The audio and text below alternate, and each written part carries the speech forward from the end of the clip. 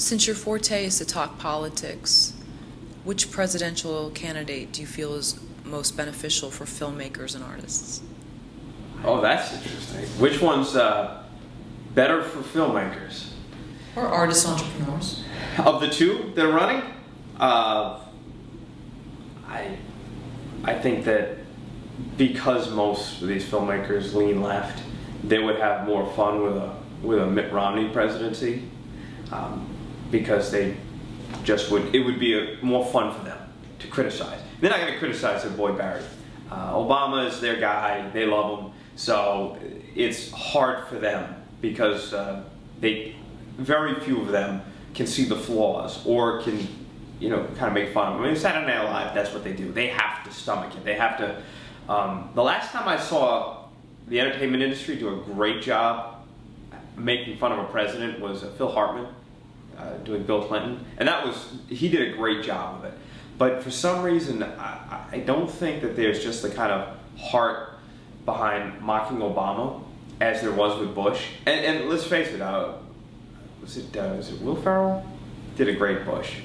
Uh, he used to Im imitate him. The, the Bush Gore debates in 2000 were some of uh, Saturday Night Live's best bits. And I can laugh at my guy, so I don't have a problem. But I don't know that, that the left can really laugh at Barack Obama. They just don't seem to have a sense of humor about this guy. And he's, I don't know that he's that funny to imitate. So I think they'd have more fun with Mitt, uh, with the whole, you know, wealth thing and making it kind of a caricature of him being this evil corporate guy.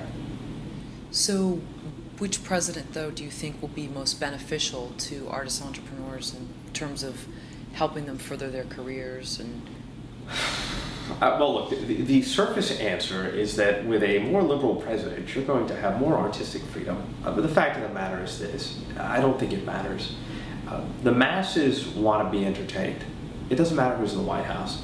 Um, I, I found it amusing, though, over the past few years, hearing a few celebrities scream bloody murder about their taxes. One that came to mind was Lady Gaga you know, she went from wherever she was at. I don't know what she was making before. I don't know a lot about her story, but she did come out and complain about taxes. Uh, a lot of these famous people uh, who typically will, you know, talk about being for the poor and whatnot. They're all one percenters, and so um, I, I don't think that it really has much of an impact on it. I think that most of the financial impact on the movie business is not on the federal level. It's probably on the state and city level. So I don't think it's going to make a difference. If you're talented, you entertain the people, you're going to do well.